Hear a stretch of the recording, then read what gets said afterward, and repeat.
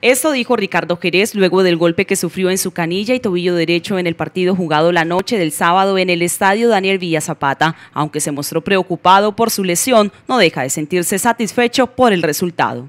Eh, primero, pues contento por la victoria, que eso es lo más importante. Eh, segundo, pues eh, triste, preocupado por la lesión. Es primera vez que me toca en mi carrera salirme de un partido, pues yo siempre trato de aguantar. Incluso, pues al medio tiempo, pues me infiltraron tres veces para que yo pudiera seguir jugando, pero el dolor era demasiado y, aquí lo más importante es el equipo, entonces decidí salirme.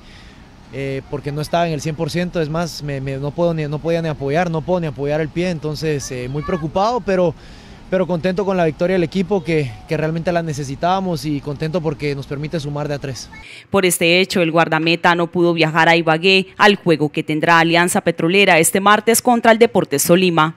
Ahora he visto la foto, he visto la jugada, eh, lamentable cómo va el muchacho, ¿no? porque yo voy con el pie de lado para sacarle la pelota y él en ningún momento va con el pie, eh, él realmente va, va con la mala intención de meterme en los tacos y eso es realmente lamentable, ¿no? Porque yo sí fui de una manera leal, no fui con los tacos por delante, sino fui con el pie de lado.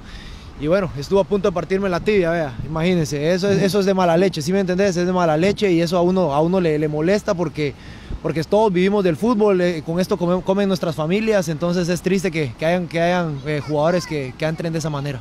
El arquero de los aurinegros dejó en evidencia su molestia por la jugada que le ocasionó la lesión. Por ahora, el parte médico, según el programa Pasión por el Deporte de Enlace Televisión, Jerez presenta un trauma agudo que obliga a una resonancia y su recuperación continúa satisfactoriamente.